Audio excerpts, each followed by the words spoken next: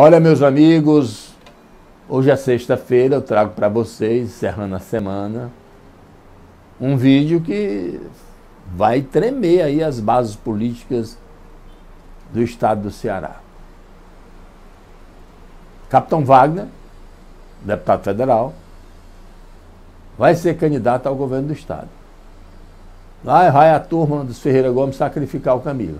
Botar o Camilo até o final do mandato para ver se garante a reeleição da turma dele. Porque com o capitão, Camilo não pode dar o luxo de sair seis meses antes do governo, não, que o negócio bagunça. Vamos ver o caminhar da caravana e afirmando apenas está aí a voz, vou botar o vídeo para vocês aqui, do capitão Wagner falando de diversas ações dele no Ceará, inclusive dinheiro para a saúde, que alguns menos informados criticavam. Deixa ele dizer aí, na própria voz, o que é que ele tem feito pelo Ceará e se colocando como pré-candidato a governador do estado do Ceará. Veja o vídeo, ó.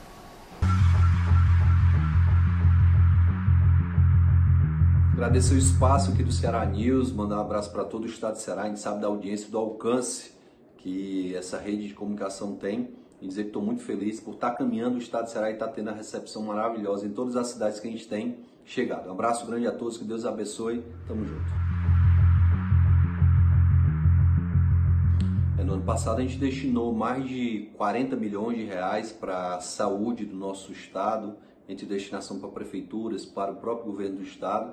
A gente ultrapassou esse valor de 40 milhões e agora, no ano de 2021, graças a Deus, a gente já tem é, direcionado um valor ainda superior esse valor. Já passa de 50 milhões é, de reais, espero chegar ao final do ano com um valor ainda maior, prestando conta de cada valor, para onde foi, qual foi o município, qual foi o setor da saúde que recebeu, para que a gente demonstre para o Estado a nossa preocupação sim com a pandemia, até porque a prioridade nesse momento é a saúde e a vida das pessoas e a gente também tem uma grande preocupação com a questão econômica e com o emprego, que logicamente também é, tem gerado muito sofrimento e muita dificuldade por parte das famílias.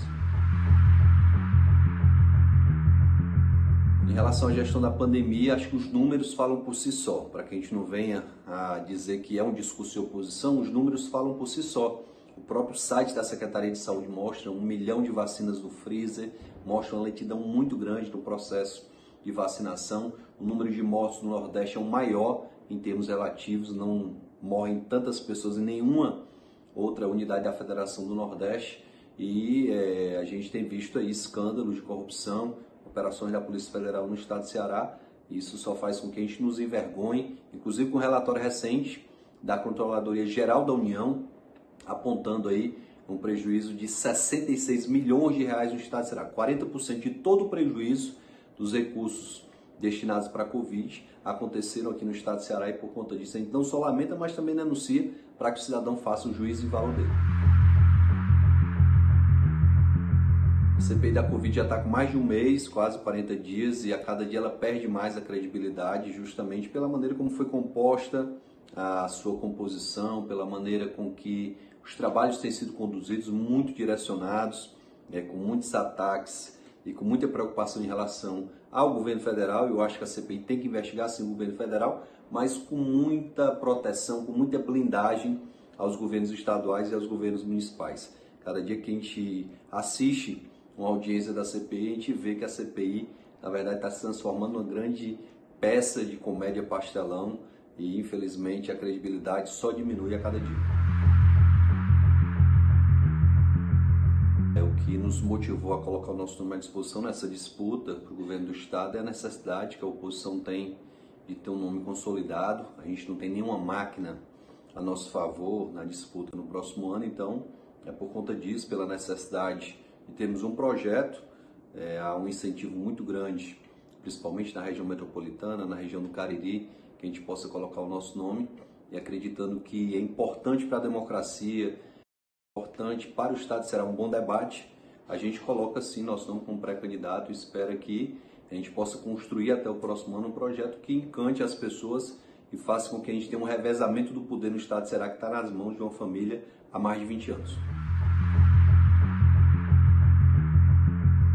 Lógico que as prefeituras da região metropolitana e também do Cariri que foram conquistadas no pleito de 2020 são importantes e são estratégicas, mas além delas a gente está trabalhando para ampliar esse arco de aliança com vereadores, prefeitos, é, chapas que foram derrotadas também no interior do estado que querem apoiar uma candidatura ao governo do estado até para ter uma base para as eleições seguintes em 2024. Então, nossa estratégia é essa: conversar com todos para ampliar essa capilaridade no interior do estado e ter cada vez mais viabilidade na nossa candidatura.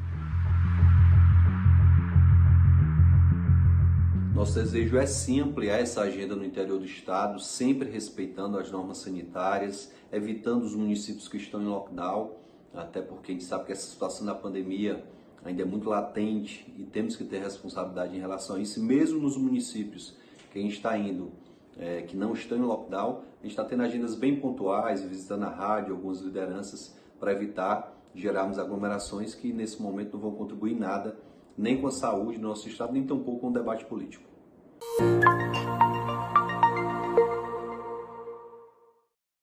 Pronto, aí tinha suas interpretações, né? Veja aí como é que vão ficar as coligações políticas dentro desse Ceará. Vamos acompanhando desenrolar e passando para vocês aqui, tá bom? Aqui é a TV Calcaia no YouTube, canal que está beirando ali por 16 mil inscritos. E muito obrigado pela audiência. Nós atingimos hoje 7 milhões 467 mil visualizações. Está também beirando os 7 milhões e meio.